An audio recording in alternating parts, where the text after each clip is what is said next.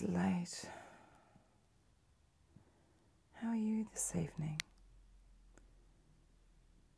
What's happening in your story tonight? Yes, that is the crickets you can hear in the background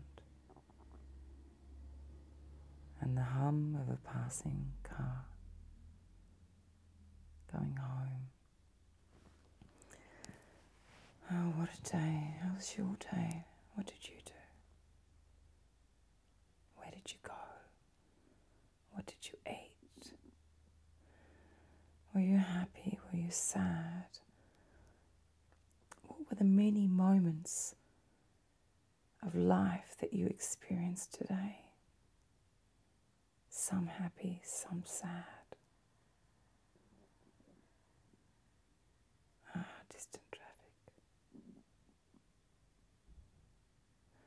Just had a shower. And a burning in my oil, oil burner, geranium. Yes, that is my stomach, you can hear. I love this time of night. Yet somehow, if you're feeling a, a touch lonely, slightly lonely, then at night somehow the shadows exaggerate your sense of loneliness. Does that happen to you? When you are alone with the shadows, do you feel sometimes a little bit more lonely? On my left, my salt lamp is on and it's emitting a beautiful light. Quite beautiful. I love to touch it because I love the texture of the salt lamp. It is just warm and something about that solid texture. I'm sorry I've taken us off the topic. How are you? How are you feeling? I've had a, a interesting three days. You know that the boys have been in hospital with tonsillitis. Excuse me, I'm just moving my hair. When I wash my hair, it's I have a lot of hair, so it's um, very heavy, and sometimes it hurts my head slightly. The weight pulling down. The boys, they recovered. They took a little bit of time because they were, they were, oh, it was painful for them. They went back to school today for the first day. And they went okay. We've had family meetings over the weekend. We sat around the the kitchen table. It's a beautiful, large, antique table with old church pews around it, and I, I just love it. But sometimes I think I should get rid of it because it was something I bought with my ex-husband, and and I feel that a lot of that time, it's right now to let go. So we had meetings around the beautiful antique kitchen table about.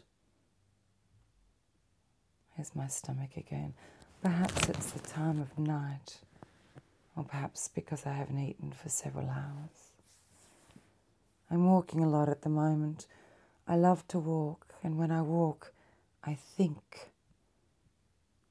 I feel the sunshine upon my face and sometimes the wind, and I think about how lucky it is to be alive, to breathe.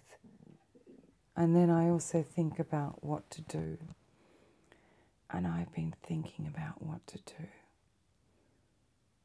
how to be right now. You see, I'm, I'm so lucky to have my four children, so grateful. I'm so lucky. yet I'm trying to write my book and I snatch an hour here and I snatch an hour there. And it's finished, but it's being adjusted at the moment because my editor is helping me make it a series. And so we're breaking it up and structuring it, and she's being really helpful. But it's very hard to find the time and I search and snatch and grab and clutch at moments, and then I get so tired. And I'm 51 this year, and yes, I know it's at the end of the year, I know that. But there is a time where you just say, Oh, oh my giddy aunt, this is now, this is time, it's time now, it's time now to do your thing, to be yourself. I have no time to be myself. I just have no time. I leave the house at times and put the children in before care, and I rush off in my little car to personal train someone. And then I come back very tired. Sometimes I exercise with them. I do love personal training, but it's so tiring in my book. It doesn't get finished. I love my videos. I love my audios. I have audios on iTunes and I do love them and I do love creating them. There is a balance in life between who we are as individuals by ourselves. I do apologize for my stomach. There's nothing I can do. Nothing. You're just going to have to suffer the sounds of my intestines this evening. There is who we are as people, and then there is the labels that we've chosen to wear. The fact that I'm a single mum, and I do love it. I love it with all my heart. But then I am the role model to my children and I set the example for them. I show them, I show them what, what they can be in their life and who they can be and how infinite, infinite possibility they have as people. And I'm trying to show them this infinite possibility while simultaneously drowning in fatigue and drowning in responsibility at the moment, I am the only financial provider, and I'm not asking for sympathy, I don't need it. But somehow I have to do that and still be myself and show them that the environment has worth and show them that the community has worth. Do you ever feel like that? Do you ever feel this incredible tearing between your individual self and your communal self, your family self, your parent, parental self. I am so happy. Yet parts of me are not quite complete. It's like a beautiful, magnificent, amazing, colourful jigsaw with a piece missing. And you look at that piece and you think, oh, I think I think I need to find that piece. And then I feel guilt because, oh God, I'm so lucky to have my children. But I know, I know it's time that I face my fear. I've created a video today, two videos about my direction. And I created a third one, an ASMR. It was a role play. It was particularly good, I felt. Yet my daughter was downstairs and she was scraping the chair and jumping up and down, and then she would sing out. And I feel really bad, but I was quite frustrated. I love my daughter. I love my sons. I love my other daughter. It is time, it is time for me to stop personal training. It is time for me to stop a lot of my counseling. It is time for me to write my book and it's time for me to show my children it's ridiculous the amount of noise in my stomach. It's like it's singing out, It's time, it's time.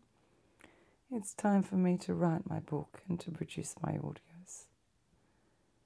My videos will always be free, but now I will be talking at times about my projects. I feel fear. I feel so much fear. Why do I feel so much fear? I guess it's because I've always been holding back and I've said, I'm quite clever. I can write a book. I can present audios, but I don't. I look after men. I look after my children. I've helped a series of men find themselves, and I hide for myself. And I've got to stop doing that now. I must stop doing that. I really must stop doing that. The last three days, I've decided to stop doing that. When I went without sleep in the hospital, watching my beautiful boys sleep with their pillows, keeping them upright because of their operation, I looked at them and then I walked I walked the hallways of the hospital and I talked to the nurses and I bought those charity chocolate frogs and I ate four at once. Too much food because I knew, I knew, I knew it was time. It is time. It is time to be myself. It is time to stop rescuing other people. It's time to do the things that I've been scared of doing. I watched the movie tonight, The Terms of Endearment, with Shirley MacLaine. It was so beautiful, and there were so many, so many stories in there about real life. The cacophony of relationships between mother and child, and boyfriend and husband, and the labels, and the, the player boyfriend, and the love and the hate was so beautiful. I related to it in so many levels. But I get lost, you see, at times. I get lost in the desire to lose myself in helping someone else. And it's time that I do that on a greater scale. I know, I know, I know. I have to devote my days to finishing the end of the book and starting on the next book. I want the next book to be about sleep. I want to really work on my other two channels the yoga channel, which will be yoga and Pilates, and this channel will be ASMR only. Traditional ASMR, role playing ASMR, sounds. I'm looking at my salt lamp. How are you, my friend? Do you ever feel fear, real fear? Do you take those risks? Oh, gee, I loved my old yoga room. In my property where I live with my husband, I loved it, I loved it, I loved it. And I hung on way too long. And I'm hanging on too long now. I need to finish my book. I need to work on my three channels. I need to speak to you regularly. I need to know how you're feeling. I love those crickets. The nighttime is so special. It's almost as if in the night time we get to really know ourselves. And it's scary and wonderful and exciting. I must I must work on my other two channels and I must release my audios on sleep and my books. And it's scary. It's really scary. I'm really scared. And you know what? Are you serious? Was that my stomach? Are you serious? Or is that a joke? That is the loudest stomach in the world. It's screaming out, It's time, it's time to be yourself. I am so scared. I am scared to really follow my dreams. I'm scared to stop personal training. There's no other way I'm going to do it. There's no other way with children. I want to go to school with them and not get up early to train someone. I want to meet them after school. It's time I get this book finished, and the next, and the next, and the next. I care about you. I am so incredibly grateful that you listened to my channel. I am so incredibly grateful that you came on board when my life. Is it going to keep interrupting? When my life was somewhat confused. I feel so, so less confused now. I love my life. I love the loneliness I love the times where I discover something about myself. I love the times that my boys walk in when I'm doing an ASMR video and wreck it. I love the time when my daughter slid back and made a huge noise wrecking my video. I love the laughter. I love the tears. I love the movies. I love the walks. And I even love the loneliness. I am alone and I am okay. I am alone and I am okay. Are you alone? You know what? You are okay. You are okay. You are so okay.